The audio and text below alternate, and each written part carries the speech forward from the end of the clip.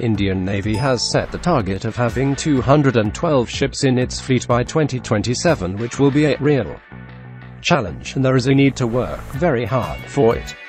Vice Admiral Controller Warship Production and Acquisition GS Pabby told reporters. New Delhi. The Navy today said it has set a target of 2018 for inducting its first indigenous aircraft carrier, IAC, and is seriously considering about having a second such ship. Indian Navy has set the target of having 212 ships in its fleet by 2027 which will be a real challenge and there is a need to work very hard for it. Vice Admiral Controller Warship Production and Acquisition GS Pabby told reporters. The government is seriously considering IAC-2 and it is in concept stage, he said.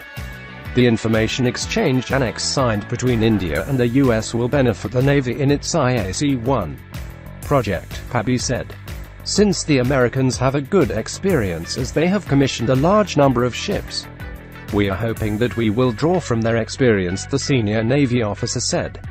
Forgetting technologies available with the US an agreement and protocol for sharing information, maintaining its confidentiality and integrity, was needed to be signed. The information exchange annexes that protocol. Since then, a team of senior U.S. Navy officials has visited the shipyard at Kochi last month to help with some issues in the IAC-1 contracts for transfer of technology about the mine countermeasures vessels MCMV or minesweepers should be signed soon, he said. It is moving very well. We are monitoring it very closely because we badly need these ships. We have finalized almost all issues related to transfer of technology from the foreign collaborators and that contract should be signed very soon, he said.